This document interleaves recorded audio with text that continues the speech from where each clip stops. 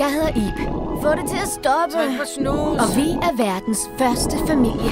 Croods. Ah, endnu en mageløs morgen.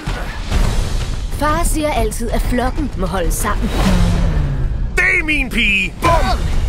Seleindstilling. Vi leder efter et sted at slå os ned.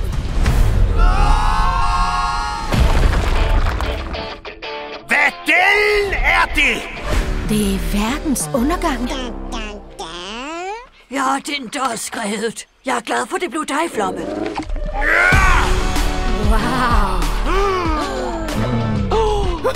Er det ikke sært, som maden her vokser i fuldkommen lige? Genialt! Jeg troede for længst, hulefolket var uddødt. Vi glade møde jer! Tak skæbne. Vi er familien Godtfolk. Godt folk. Og det med tryk på godt.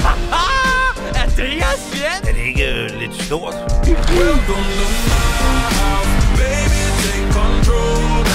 Hejsa, en anden teenagepige.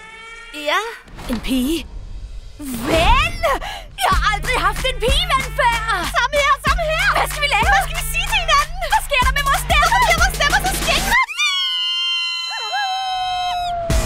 ved ikke, om hulefolk hører til i en moderne verden.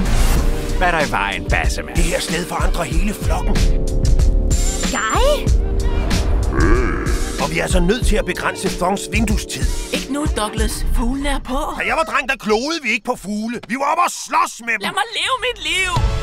Åh, oh, hvad er det?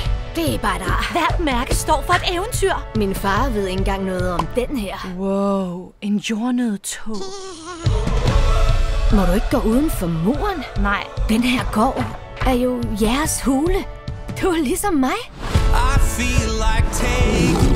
Kan du se den mur? Ja! Skal vi hoppe over den? Ja! Nej! Vi er tilbage, før nogen opdager det.